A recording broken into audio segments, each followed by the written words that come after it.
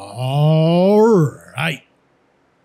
Now we're doing freeCodeCamp, JavaScript Algorithms and Data Structures Beta, Learn Basic JavaScript by Building a Role Playing Game, Step 109.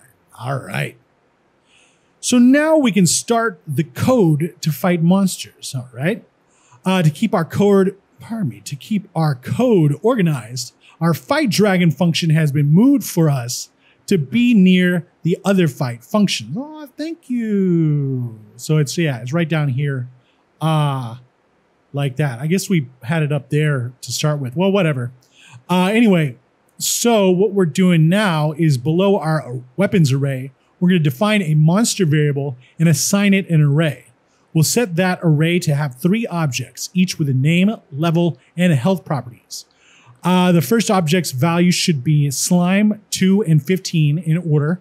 The second should be Fanged Beast, 8 and 60. And the third should be Dragon, 20 and 300. All right. So we're going to define a monsters variable and sign it an array, right? So we'll start off with that.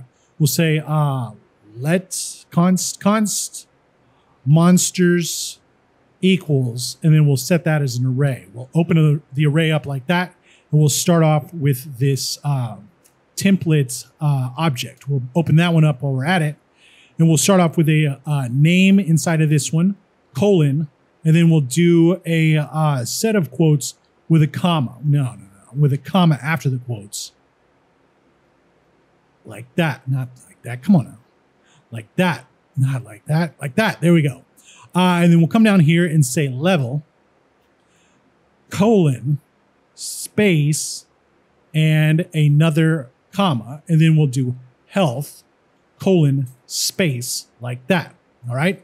So now let's put a uh, comma after the, uh, we'll put a comma after the closing curly brace. Come on now. There we go. And we'll select all of 30 up to the end of 25 like this, copy it, drop it off at the end of 31 two times like this, and then we'll get rid of this comma right there. Uh, we'll start off down here since that's where the cursor is, and we'll say 300, and then we'll go over here and say 20, right? Then we'll go to the next health and we'll say uh, 60, and then we'll come up and say 8 here. Then we'll come over to this health and we'll say uh, 15 and 2, all right?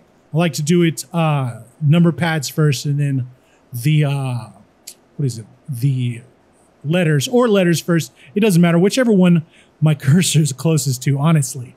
Uh, so right here, we're going to say slime first. Then right here, we'll do fanged beast, fanged beast. And then right here, we'll make it dragon. All right, dragon like that, dragon, boom, dragon like that. All right, and that should be good. Let's check the code. Looks good. And submit it. All right. Now we're on to step 110, and we'll see you next time.